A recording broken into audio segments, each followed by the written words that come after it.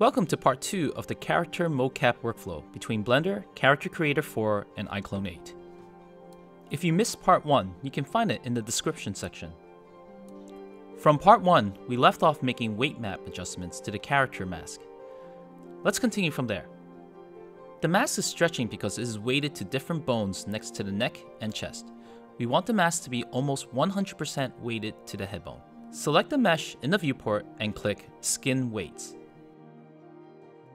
From the Bones Manager, find and select the head bone. Selecting the head bone will show colors on the mesh, which represents the weight value of the bone's influence on the mesh. We will focus on making the rigid areas of the mask 100% weighted by the head bone.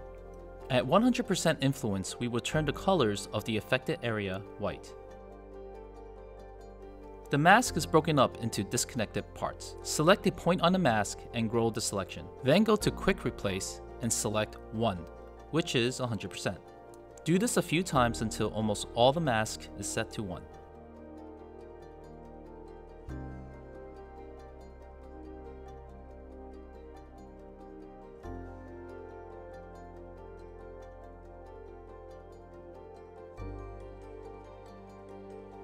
Now run a few test animations to see if everything is working.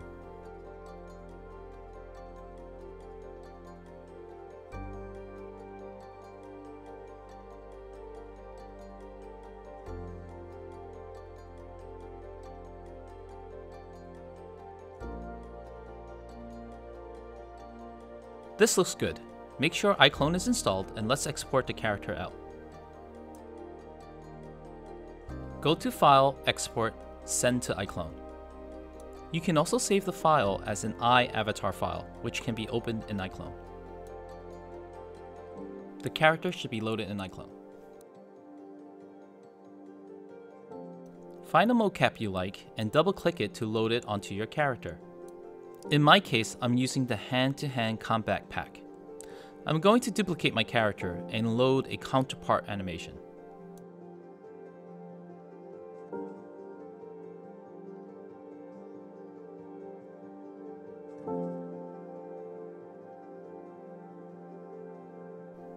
Now, adjust the distance so that the characters are spaced appropriately.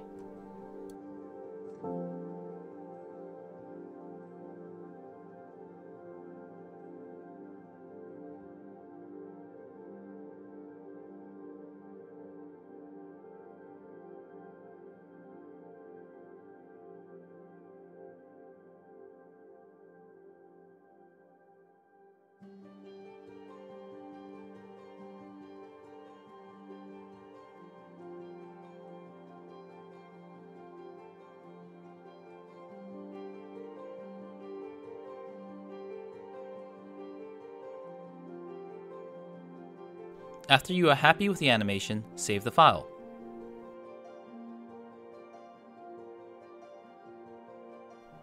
We will now export the animation back to Blender. First, select both characters, then go to File, Export, Export FBX.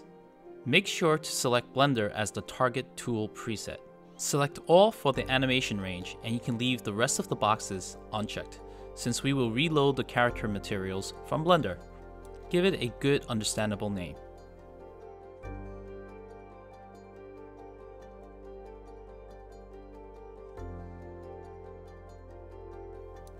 With the export completed, we will now bring the animation into Blender and load in the materials from the original mesh file. In Blender, go to File, Import, FBX. Locate the FBX file from iClone.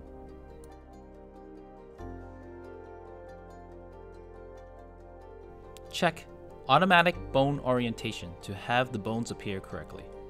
Your character will come into Blender without any textures. We'll fix this by using the original Blender character mesh file used in part 1 of the video. There should be 6 materials.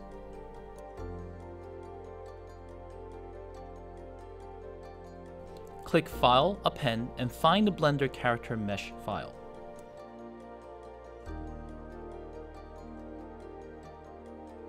Navigate to Material and import the appropriate materials. If the imported materials have the same name as an existing material, it will increment the name. In this case, my imported materials have a .002 name attached to the end. Now replace all the materials for both character.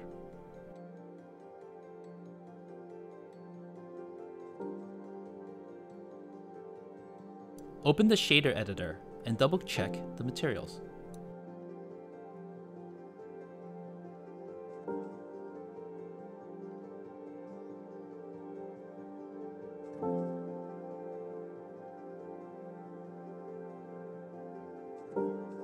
Save your work.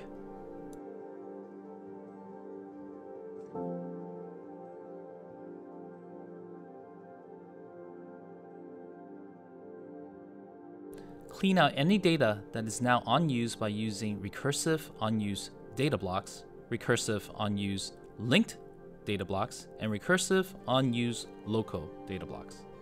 In my case, I'm using Octane as my render engine, and we'll check to make sure that it is selected. Set up your camera and double check your animation.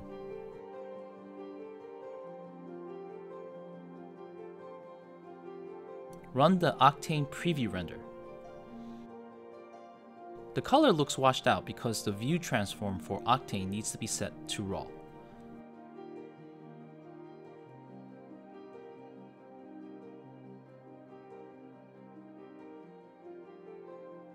Save your work.